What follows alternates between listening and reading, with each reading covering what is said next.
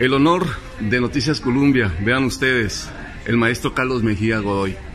Maestro, qué gusto saludarlo aquí en Colombia a esta hora y saber que, que, bueno, nos está visitando y con dolor de saber que usted dejó su patria, que dejó Nicaragua. Nicaragua que está llorando y desangrándose. ¿Cómo está, maestro? Bienvenido. Gracias. Yo estaba en Nicaragua eh, desde que empezaron estos sucesos de lo que llamamos la Revolución de Abril, de los autoconvocados, de un grupo de muchachos universitarios que se lanzaron a las calles con una audacia ejemplar y rompieron el silencio. Ese silencio, lo quiero decir de corazón, del cual yo me sentía cómplice, porque siendo yo cantor, no me atrevía a, salir a la calle con mi acordeón como tantas veces lo hice en los tiempos de Somoza y cuando mi pueblo me necesitó. Pero estos muchachos nos quitaron, hay una frase que dice, nos quitaron todo, que hasta nos quitaron el miedo. Y entonces con, esa, con ese parámetro eh, con esa actitud generosa y maravillosa de nuestros jóvenes, nosotros salimos a las calles, igual que ellos, a protestar por esta infamia, por esta, por este, esta masacre que no se vio ni en la, época de Somoza. En, la época de Somoza hubo dos o tres situaciones y la cantidad de muertos fueron siempre, estamos hablando no de, no de enfrentamientos guerrilleros, sino de manifestaciones populares. No hubo nunca más de cuatro, cinco o diez muertos. Ni de francotiradores en Ni francotiradores. Ni enfrentar a unos pobres muchachos con, ondas y con piedras, eh, con, rifles de, de alto poder, con con fusiles de mira telescopia desde el estadio eh, Denny Martínez, que lleva el nombre de uno de nuestros héroes deportivos, han instalado francotiradores para perseguir a todos los que se mueven en ese, en ese sector. En fin que yo, un día de tantos, eh, conmovido hasta las lágrimas por, el cinismo de, de Daniel Ortega de proclamar desde una tribuna que ellos son defensores de la paz, que los violentos son otros, mientras está mandando a masacrar a unos jóvenes universitarios que están refugiados en una iglesia con sacerdotes, con, con eh, periodistas extranjeros. Barrieron esa, esa, iglesia y murieron dos muchachos que hirieron a varios. Maestro, es que además, supongo yo que después de una carta que incluso en Noticias Colombia estuvimos leyendo al aire, en la que usted le decía a Ortega, ya no mate más, eh, se nota el desgarro suyo de, por alguien que usted conoció, combatió con él, es, decir, estuvo con él. Y le dije una cosa que es muy importante, que, yo tenía una comunicación con su padre muy fluida. Su padre, que era un patriota nicaragüense, eh, Daniel Ortega se llama igual, se llamaba. Entonces yo, iba eh, de, novio a buscar a mi, chavala a un lugar donde, él siempre estaba sentado.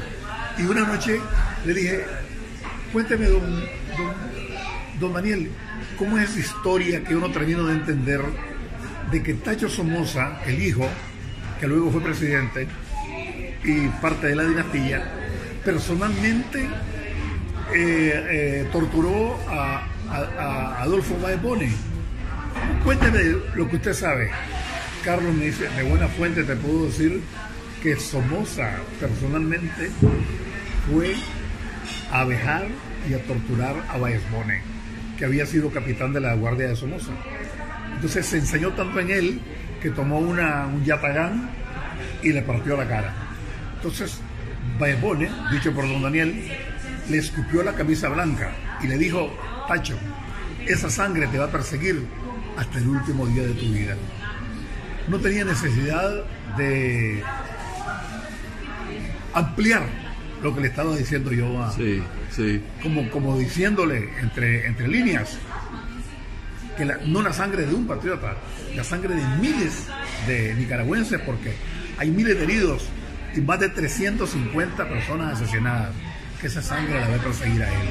¿A, Nicaragua la hemos dejado sola? Digo, estamos en plural el mundo. No, no, no, no, no, no, no, podemos, no podemos quejarnos por falta de solidaridad. Eh, la presencia de la Comisión de Derechos Humanos de la, de la ONU y de la OEA han sido muy importantes para proyectar ante el mundo los videos que ellos dicen que son este, montaje al estilo Hollywood, eh, montaje de alta tecnología para hacer aparecer al gobierno de Nicaragua como agresor y que eso no existe. Y son hordas de, policías encapuchados con armas letales que las puedes ver en todos los close-up eh, disparando contra la, contra la población así. Mataron a un niño de 18 meses. Su, su padre iba huyendo de, los disparos y asesinaron al niño. ¿Y saben cuál fue el parte médico de, un hospital del gobierno? Murió efecto de un suicidio. Ah, caramba. ya, esto es una cosa kafkiana. Totalmente. y usted, maestro Carlos Mejía Godoy. Entonces yo después de esa, de esa carta, por recomendaciones de, la, de los derechos humanos, me dijeron, Carlos, tu vida está en peligro. O te escondes y vivís una vida clandestina o te vas fuera del país. Entonces yo aproveché este, venirme lo antes posible para que no me pusieran trabas, porque ha habido otros ciudadanos que han querido escapar de este infierno y no los han dejado. Los han echado presos en el aeropuerto. Como al líder campesino que encabeza la, la, lucha contra el famoso canal, ¿verdad? Cuyos derechos fueron concedidos a un chino del otro lado del mundo, ¿verdad? Y a usted le dijeron váyase mejor, por su seguridad. Por su seguridad. He dejado a mis hijos en Nicaragua, no han podido salir, uno de ellos está por llegar, y yo le he dicho al gobierno, no me importa mi vida, porque yo ya cumplí 75 años y he disfrutado del éxito y he disfrutado del amor de mi pueblo, pero no me tocan a ningún hijo, no me tocan a ningún hijo, porque eh, eso no se lo va a perdonar Dios. Y, eso ha calado mucho en, la, en el ánimo de la gente y aquí estamos, pues, dando, la batalla por la dignidad de Nicaragua. ¿Cuántas veces ha llorado Carlos Mejía Godoy por todo esto? Uy, yo soy muy llorón, soy muy sensible. No lo dudo, es un artista. Eh, hace menos de dos horas apareció en, la, en, el internet el rostro de una muchacha linda con un pañuelo este, azul y blanco, que son los colores de la patria, diciendo lo siguiente, yo estoy condenada a muerte porque soy enferma de cáncer linfático.